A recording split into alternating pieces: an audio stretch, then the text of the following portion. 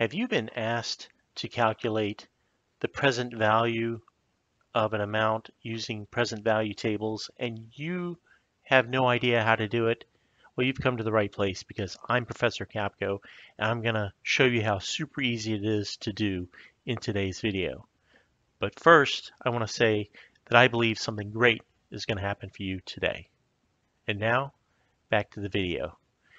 If you're someone who likes short, informative videos on how to do things in finance and accounting, give this video a thumbs up. That way the YouTube algorithm will know to feed this and to you and others that are in the same situation. Thank you.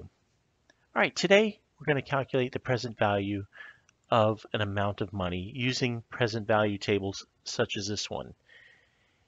The amount we're going to be calculating here is we're going to find the present value of $160,000 under various terms, such as this first one, in five years at five at 8% compounded annually.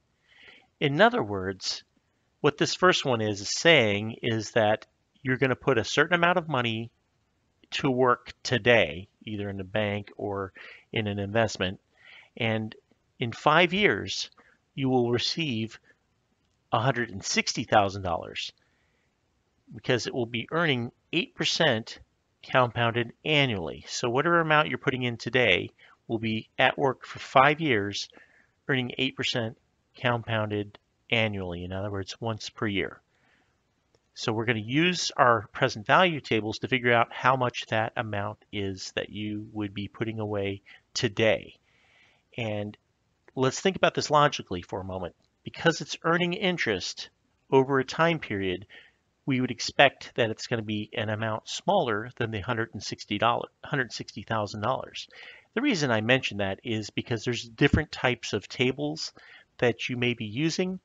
And if you use the wrong table, it's going to give you an amount larger than 160,000, And that will be your clue that you've calculated something wrong or you used the wrong table. So we want to use the one that says a present value of $1. Present value of $1. Now, obviously, we're using more than a dollar. We're using $160,000. But whatever factor we come up with, we're going to multiply by 160,000. So let's do the first one and see what we come up with. So we have five years at 8% interest. So that and since it's compounded annually, that means it's only going to be compounded five times, once per year. So my period, I'm going to come down here and find five, and that's right here.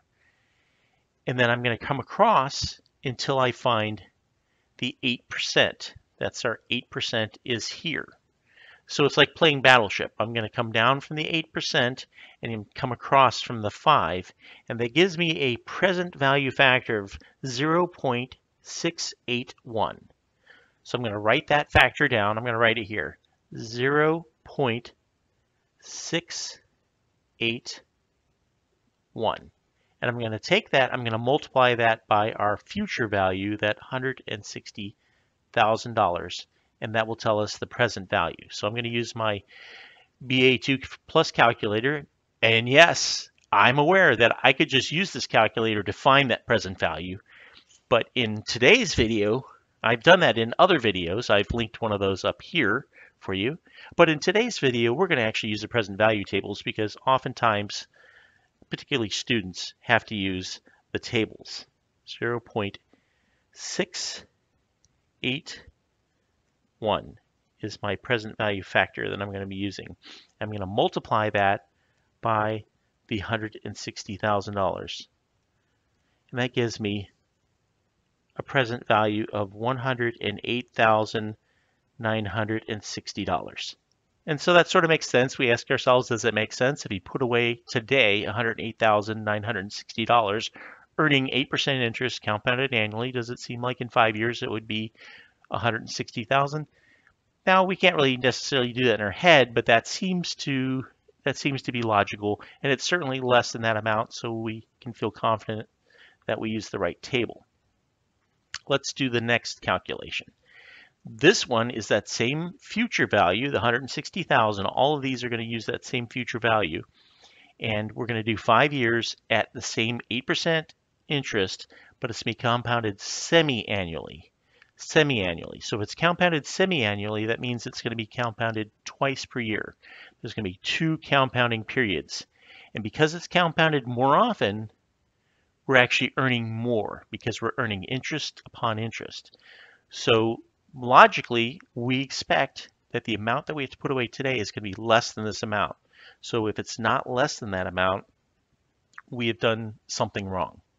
So we're going to do the same table.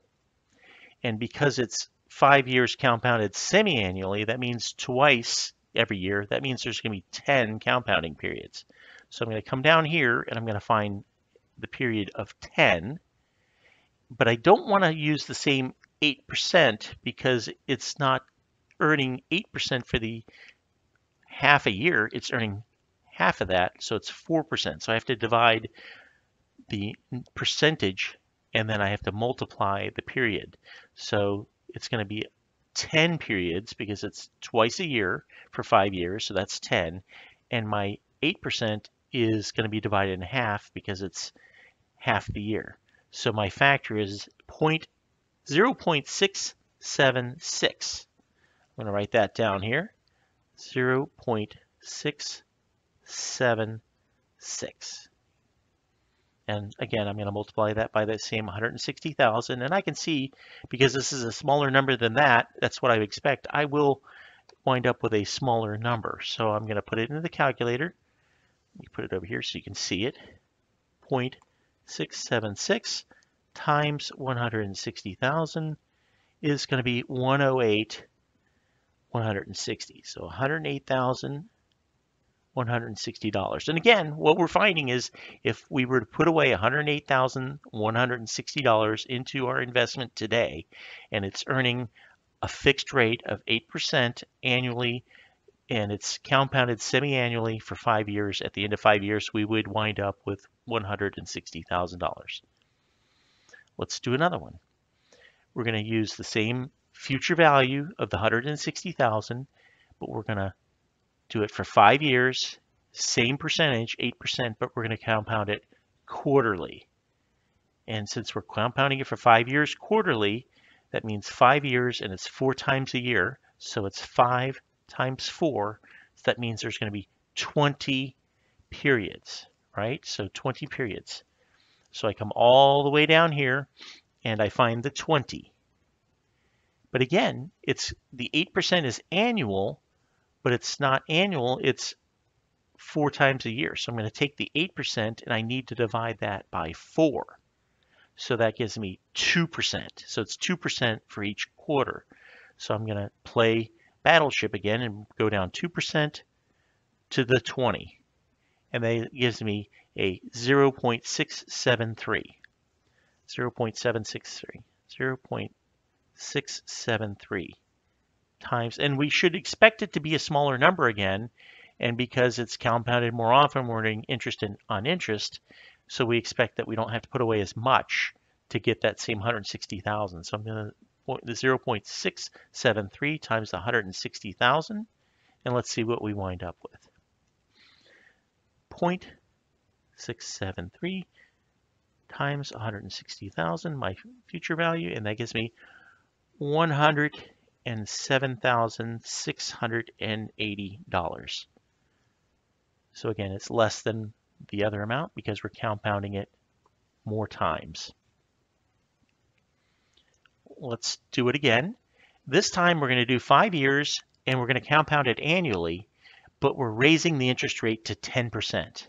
Our interest rate is 10%. Since it's a higher interest rate, we should expect that we have to put away less money to get that 160,000, at least less than we did when it was earning only 8%. So let's see what we get. I'm gonna, we're back to compounding it annually, so we're back to only five periods. So I go to here, five, and it's 10%, and it's annual, so it's once per year. So I go all the way to the end here, and I come down here and across here, and I got 0.621. 0.621 and I multiply that by the 160,000 and let's see what that gives us. 0.621 times 160,000 gives me 99,360.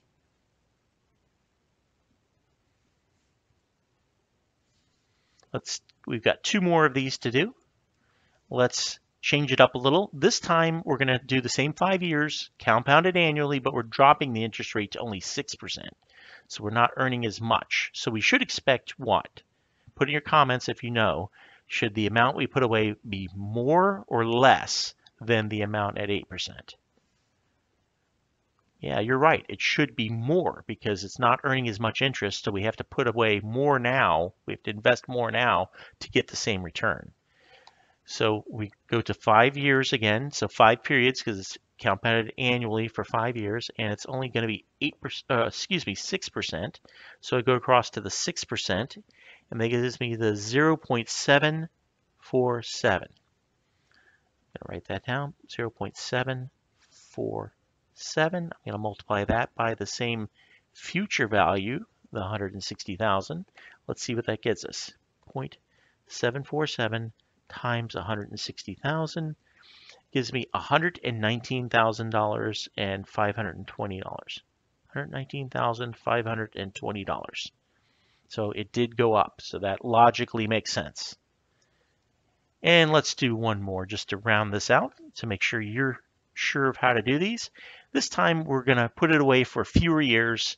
It's still going to be compounded annually and we're back to the 8% interest. So it we're going to have to put away more because even though it's earning the 8% interest and it's compounded annually, we're only investing for three years. So we have to put away more to get the same 160,000. So I'm going to go ahead and find my three years here. Three, that's here. And I'm going to find my 8%. That's here. It's compounded annually. I'll come down and across, play Battleship, and I get 0.794. 0.794.